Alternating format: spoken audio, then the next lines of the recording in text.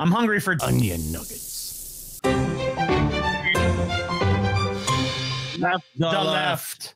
I believe She has left one the there. left. We uh we talked about this forever ago. How Ana I mean- Kasparian was going to do this shit eventually. It was obvious. It was coming a mile away, dude. And this was pretty telegraphed as of years ago. So this is a little article uh, on uh, Ana's brand new Substack called "Independent and Unaligned," and it says, "You're right. I've changed." the TYT curse strikes again. Yeah. I don't know what it is with TYT, but all those motherfuckers end up leaving the left and going off and doing some weird other shit. I think Ana said she's staying on TYT though, so I'm not really sure if that's gonna if that's true, if that's gonna happen, or, or what's gonna go on there. But we'll see. Um, so here's what she has to say. After Trump came on the political scene, and especially after he was elected in 2016, the us versus them mentality immediately took shape. Yeah, it wasn't No, that wasn't a thing What? before that. I What a disingenuous statement. Prior to that, everyone just got along. There was no political antagonism in the country. How can you be a political analyst and, and write that out? I mean, like, you, well, you would say speak it, but this is like she's able to actually think about these words very carefully before she puts them out. And to pretend 2016 was that's the dividing line is absurd. That's when the divide happens, Scotty. Prior to that, Americans all got along as one, you Yeah, know, political unit. Anyone who refused to resist Trump was seen as a threat to the country, and I was fully on board with that mindset. It all felt righteous at first, but eventually the tactics deployed to fight Trump became repetitive, boring, and ultimately fruitless. Polling shows he has increased his support among black and Latino voters despite wall to wall coverage of his unsavory, racist, or bigoted remarks. Several years of media raising alarm over Trump's threat to democracy has only resulted in a tight presidential race between himself and Kamala Harris. I mean, she's not she's not lying. No. Sure. No, that's not. So no lies detected so far. I I read this. I've seen people freak, freaking out about it and shit. Um, Mhm. I have some thoughts on. it. I don't know if you wanted to finish reading it. Uh, we can kind of talk about it as we go along, or we can talk about it when it all wraps up. I mean, I'm not trying to carry water for Ana Kasparian. I haven't liked her for a long time. I actually like counted myself pretty done with her when she tried to get Jimmy Dore canceled for making a f- comment when her short ass mini skirt rode up at work or whatever the. Mm-hmm. That was retarded to me, and the way that she acted victimized by it all those years later um, was just like it just stunk of dirty deeds done dirt cheap, basically. Mhm. And uh, since then, I really haven't had a very, a very tasteful kind of like uh, opinion of Ana Kasparian, but I will say that I can understand some of what she's talking about. I am now saying that you left the left is wild.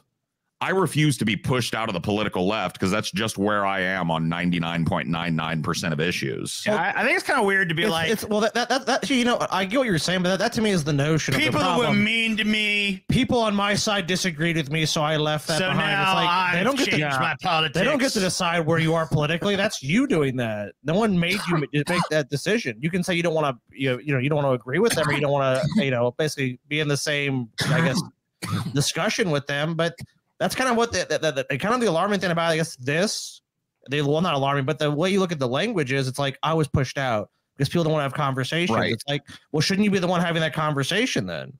Like she's got a way idea. bigger she's got a bit way bigger platform to have that conversation without the hyperbolic I left the Right. left bullshit. I can't help Um, but acknowledge that the only thing that was accomplished by resisting Trump was less understanding and more division among Americans. I personally became reluctant to challenge my side or engage with voters who disagree with me. In turn, I became less knowledgeable about the people and the world around me. I saw Republican voters as an evil monolith, and that was a big mistake. This is once again not anything new, though.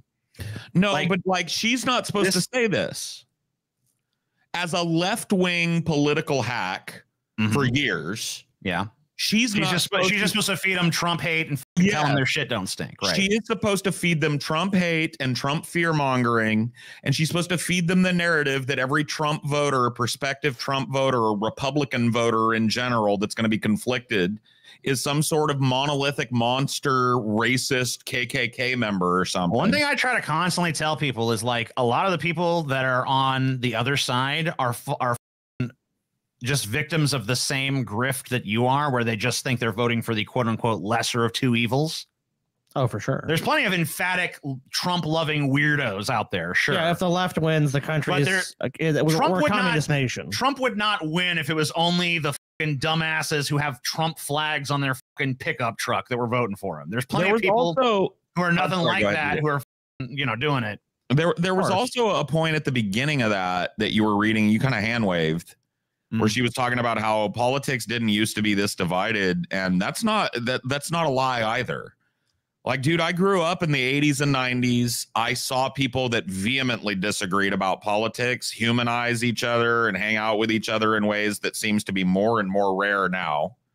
Politics were kind of put in a pocket where you didn't really judge people for their politics. Mhm. And it wasn't something that people wore on their sleeves 24 7, 365. Well, I do remember it was it used to be more considered impolite to talk about your political leanings. Well, there's a reason for that. But um, I always, I also remember though when I was growing up, like a lot of like Bill Clinton's a communist. He's f***ing trying to do a socialist take over the country. I remember, I remember all that f***ing rhetoric happening then too. Sure. So I mean, like, I don't feel like the political divide is necessarily. st- I mean, clearly, like if you look at f***ing some of the the Reagan Well, may- years, maybe it's more amplified now. I guess is a better way to put it. Maybe it's more amplified to the degree where extreme voices, because of these algorithms, get featured more broadly. but like there's boom and bust cycles of political outrage. sure, like, of course. You of look at the 1960s, things were fucking ultra contentious. You look at the 70s, there was a lot of criticism of the Carter administration, shit like that. I mean, like, So maybe it's fair to say she was saying that the cycle where it's becoming more divided. like 2016 You know. might represent a heat up point, yeah, but it's certainly not the beginning of strong political divisions in America.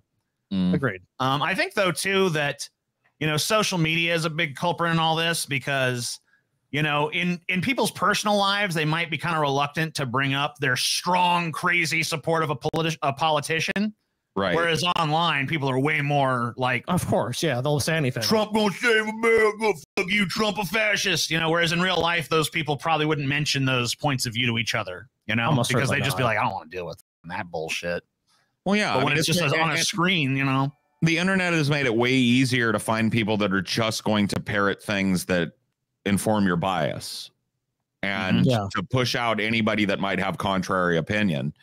And I will tell you, like, one of the, re- I'm not trying to over empathize, but I'm just trying to give you another perspective on it. As a content creator, I understand her saying they bullied me. It's pussy shit. And she should never allow herself to be pushed, even optically, out of the left or whatever.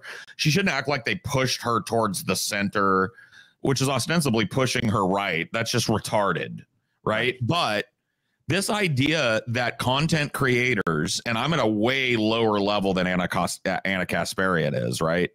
Mhm. Dude, when I cr- critique the left from the left or humanize somebody that's right wing when they're correct on labor or they're correct on this, right? The backlash I get is instantaneous and insane, even at our level. There are people that will dedicate weeks, if not months, of their life to trying to pwn me on something I said that bas- was just basically humanizing somebody who might think something different from me politically. and, it, and, and I can only Sure. imagine at her level of influence, it's probably 20 or 30 times that, right? let's plow on a Oh little yeah, further of course. I watched your uh, conversation with Matt Walsh today. I thought it was a good conversation. I haven't seen that film at all, but I mean, he touches on something that's very real. I watched your conversations with Ben Shapiro, Mm-hmm. and you inspired me to have that conversation with Matt Walsh. Yeah, because I'm sure you have disagreements with him, and many. yeah, and so it's interesting to find like the areas of common ground, which I think people have been dissuaded from doing for a long time now. Yes. Hello, human. I'm Nug. Will subscribe and become a Pessimist Productions patron. Witness live streams of Onion Nuggets every week. New Deep Fat Fried episodes every Saturday. Other shows include Abandon Hope, Highdeology, You're Wrong, Fighting Boys, and more. Click the link. Feed the garden. Uh, my evolution started in 2022 when I was hugging. assaulted by a homeless man in my neighborhood as I was walking my dog. That horrible experience alone didn't change me politically, but the treatment I received from the far left and some progressives after sharing the story did. I was told that by publicly sharing what had happened to me, I was stigmatizing my unhoused neighbors.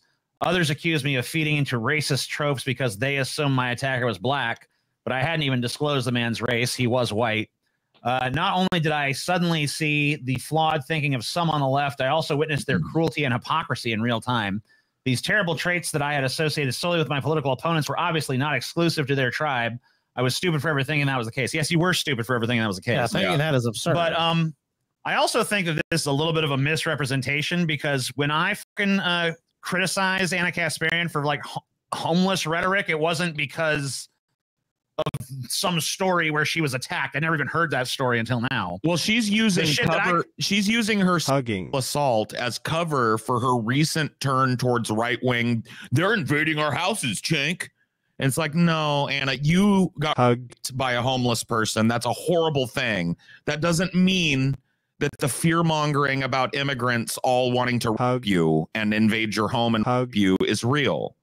So Yeah, she's and, like- she's using her Hugging. sexual assault as cover for what is a move to the right on immigration. Yeah. Well, and homelessness. and homelessness. And Because I mean, like, Right. she's been. I mean, she's been like very supportive of like destroying these homeless camp encampments and stuff like Oh, that. bro, It's like, she she is. I mean, California, she's a that- Californian, and Yeah. um, Gavin Newsom just recently like.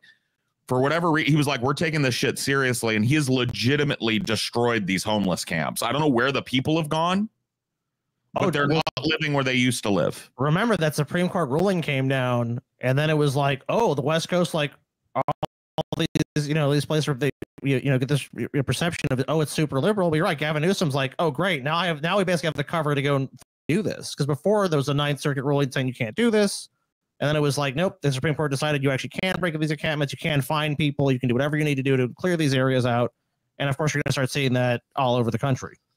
Uh, that doesn't mean everyone on the left thinks or behaves in this way this small group of lunatics do. Far from it.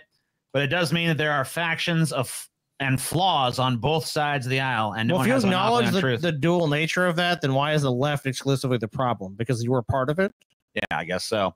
Then there was the insane reaction to my tweet uh, from March 2023. I'm a woman. Please don't refer to me as a person with a uterus, birthing person, or person who menstruates. How to like who did? Who has ever fucking called you that, this is bitch? this No one's ever said that shit to you. this is an overreaction to some college campus blue hair liberal arts major kids that were grousing online about getting rid of gendered language when it came to non-binary people and what could we call a non-binary person with a uterus And then And Ana was- this was Kasparian bandied decides to in those in those to do exactly the same thing. Yeah, yeah. And she decides to do exactly the same thing as like so many right wingers do. To go find, go cherry pick some nobody college student or professor online somewhere with no influence and be like, look at what they're doing. Look at what they're doing. Yeah. I And will of tell you the this. victim. I will, I will I will say this. I don't agree obviously don't agree with her here, but the online left has become incredibly repellent. Incredibly re- it is like if you're if you engage in online leftist spaces, you won't go far before you trip over a smug fucker that you can barely stand to listen to for a fucking second. And it is overpopulated with these types of people, depending on which social media environment you're on. Mhm. And I think it's overrepresented. I think most people don't give a fuck about politics until about two weeks from now. Uh, all hell broke loose after I posted those words. Most friends in left wing media didn't bother reaching out privately to discuss their disagreement with my personal preference. Instead, many self described socialists took it upon themselves to profit from conflict by publicly attacking me with monetized videos. I mean, you know how the game is played, bitch. Don't fucking act like you're Yeah. a fucking innocent bystander in this shit. Well, okay? they they virtue signal about that sometimes when they're covering certain things. They'll make a big hoopla about it. We, we here at TYT want to let people know uh, we don't feel it's proper to monetize videos like this, and we won't be doing that. Uh, they may they they get a little back pat, a little self back pat because they, a giant media conglomerate organization, who which which big fucking organization funds TYT? I don't even know. There's like a big giant uh, corporate organization that funds TYT or gives them a lot of money anyway. I'm not sure on Um, that. But uh, yeah, dude, th- that's their little self back pat that they do. So she's just hiding behind that as well. Gotcha. The, the, the longer this Okay. goes, the more these start to sound like lame excuses. They even went so far as uh, drawing a link between my tweet and trans suicides, which sadly wasn't the most unhinged outcome of the debacle. Okay, so what we were at the part where Ana Kasparian was saying a smaller uh, leftist YouTube show Yeah. put out some attack videos about her. Which who gives a shit? Boo If you're f***ing TYT, Wah. Ana Kasparian, you got a huge public profile. Some pissant channel that no one gives a shit about that you don't even mention by name attacked you unfairly. Who cares? Uh, TYT's volunteer YouTube chat moderator quit over the tweet. And someone reported me to human resources.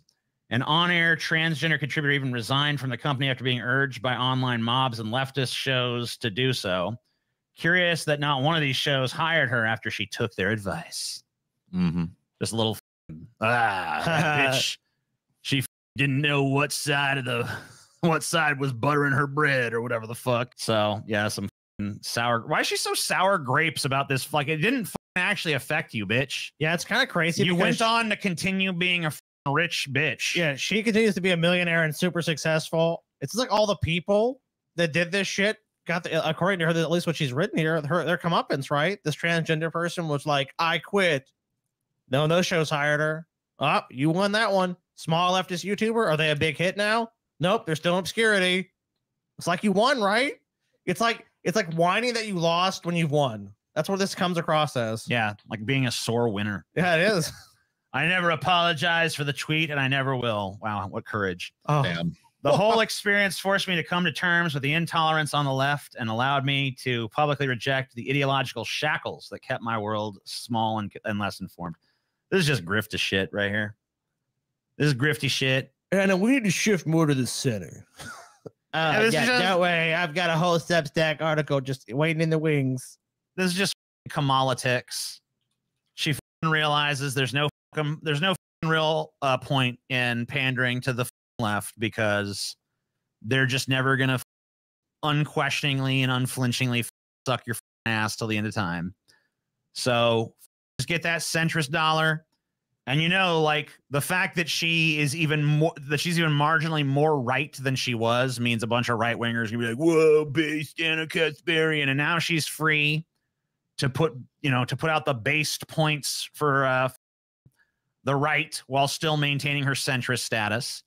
But Basically, just basically just doing a Dave Rubin, but with a little bit more charisma, right? Mm, I don't know. I haven't seen enough from her post transition to know how if she's gonna shift into full like six gear grifter mode like Dave Rubin or whatever. But it's starting Well, to sound that way from what she there wrote was here. There was a video that I showed TJ. She was on a podcast and she was praising like Ben Shapiro and Matt Walsh. Not like saying like, oh, I agree with them, but just like, you know, it's good that we're having conversations with people like that. You know, which I mean, I guess some ways you can interpret that as like, oh, well, I'm reaching across. But it's like, you know, how much can you really reach across to Matt suspect. Walsh?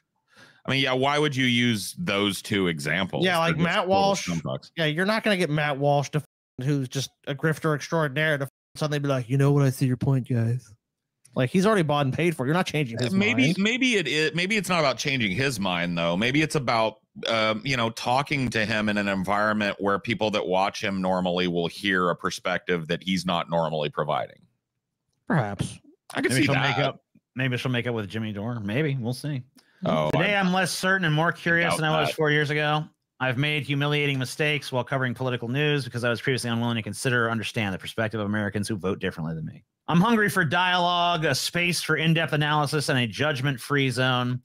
That is what I plan to do here. Every week, I'll provide subscribers with. Oh, so sign So up for is, my this is the launch of her Substack here. yeah Yep. First gambit in the grift, right? Uh, two to three written pieces that dig deeper into the big stories of the week with the intention of finding truth rather than promoting a political side. Video posts sharing details on breaking news and political events, a weekly podcast beginning in November that will feature long form discussions and debates with guests from all walks of life. Try to be Joe Rogan. Engagement with me in the comments section for paid subscribers. This is so wait, this is OnlyFans shit now. Ana Kasparian will talk to you if you give her a little money. The point of this new project is the pursuit of intellectual freedom and open mindedness. Blah blah blah blah blah blah blah. Okay, whatever. Have nice nice grift, mean, whatever. I like to take people at their word, but this, I mean, like reading the whole body of this. Um, yeah, I mean, like some of the stuff, the er, grift. some of the stuff early on, like you were saying, has some kind of point to it. or and I when, can when it was that. a broader critique because I I do agree that the a lot most of the online left has become utterly repellent to be and there's way in. too much. I mean, like her, her criticism of Trump derangement syndrome at the beginning, where people fo- hyper focus on Trump and how bad he is to the exclusion of any other point to the detriment of any political advance because he's Yeah. oh he's Hitler too. So we have to all eyes on that at all well, times. Every other f- it's a thing falls broken by the wayside. it's a, so it's like you know, you know, Trump is uh, yeah, Orange Man bad, but what else have you got, right? can we have a moment of silence for my barn cat patches who just got ran over? Jesus Christ. You know, soon their their own little regressive talking points will be coming shrilly, I might add, out of this empty vessel, this vacuous trash bag known as Ana Birthing Person Kasparian. So I say they can have her, all right? Uh, I look forward to her upcoming PragerU videos about how the radical, you know, extremist leftist dogma pushed her into being a Nazi simp. I look forward to her upcoming Daily Wire show, The Ana Hour, or whatever the it's going to be called, where she rails eternally against the values that she pretended to have for the last 15 years. I hope her checks are fat. I hope her bank account gets bloated. I hope she drowns in money. So best of luck to you, Ana. I hope you get everything you ever wanted. And so much more.